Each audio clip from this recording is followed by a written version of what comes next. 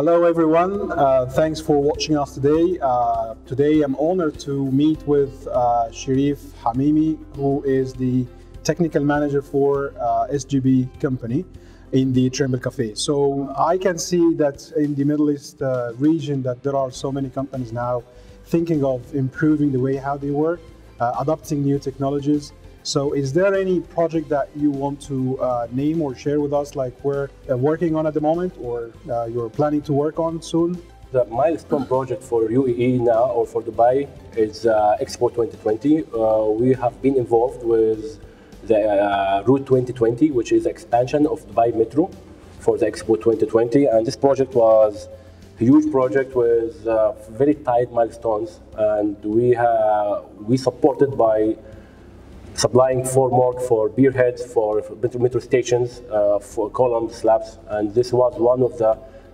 challenging projects that we had uh, in the last year.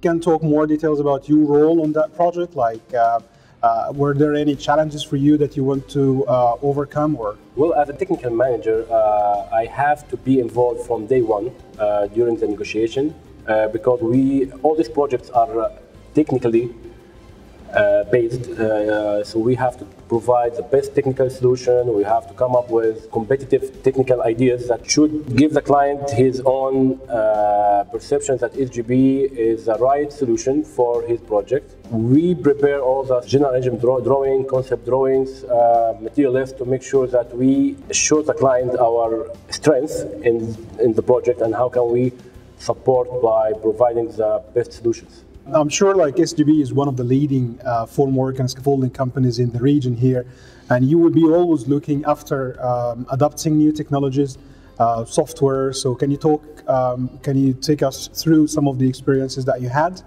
Uh, as a technical manager, uh, I have to make sure that uh, we keep uh, improving our product productivity.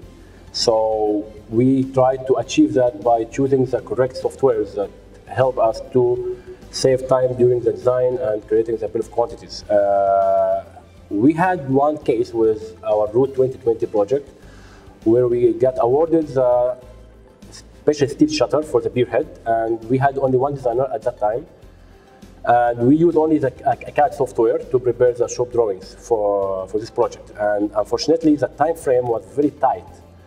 So we had to think how can we save in the design time because uh, as a designer take around three to four weeks to finish the fabrication drawings, single part drawings, prepare bit of quantity.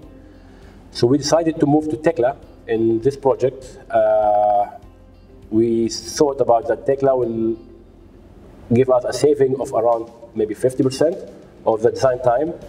So we contact Tekla and we got uh, two licenses in very short time and we start the project with Tekla only, and we achieved what we believe that we can do is that we saved around 50%. Uh, the designer with Tekla, he can prepare the model and finish all the drawings, fabrication, single parts with of quantity in around 10 to 14 days maximum, which was very important for us to finish the job in the time frame assigned by the contractor.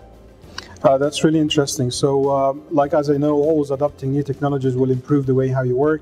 And I can see that from the experience you had on this project, like saving 50% of the time. It's a real uh, improvement and uh, moving forward with the project. As you know, like also I see that the government is supporting like the companies to move forward to the uh, BIM or the building information modeling. And they are mandating uh, and they are um, um, issuing some circulars in the industry to mandate the applying of BIM uh, across all the, the different players.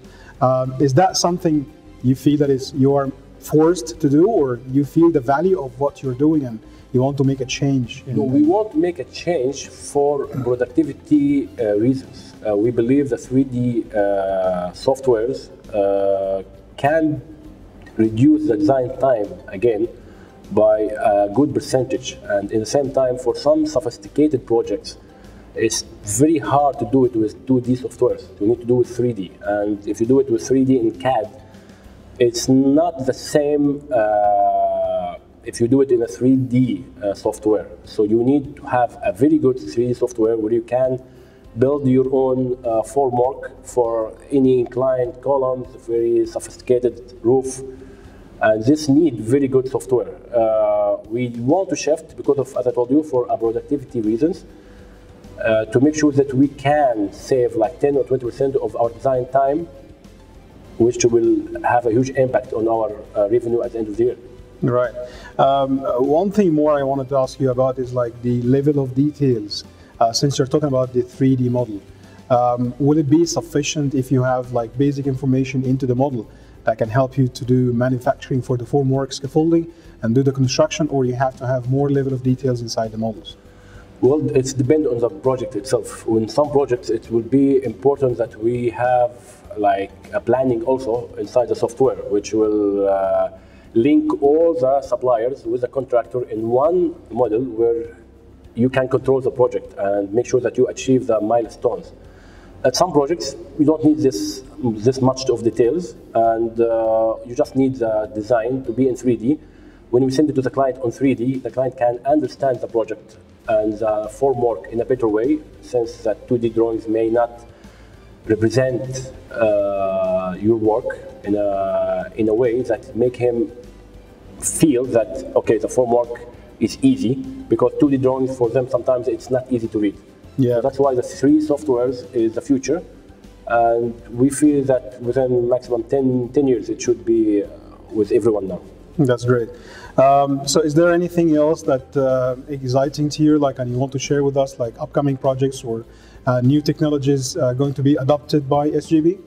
Uh, well, in SGB, we started to look into the 3D printing, which was uh, something new to the UAE market, and uh, we are now bidding in some of the mega projects, which we can't Yeah. can't tell you now, but we have uh, participated in any mega projects in UAE from airports, shopping malls, uh, high-rise towers. So I think SGB will, will they are trying to be a leader in the market uh, by achieving this using new technologies uh, that's available and to try to up, upgrade uh, our softwares and systems with the best softwares available in the market. So let's see in the future. That's really interesting, uh, Mr. Shareef. So um, I'd like to thank you very much for uh, having this conversation today. It's always good to um, get the individual experience uh, during the projects, especially with the topic that we're talking about, technology, adopting the technology. So um, uh, once again, I'd like to thank you very much for um, uh, talking with us today in the Trimble Cafe. And uh, thank you everyone for watching us today and hope to see you next time.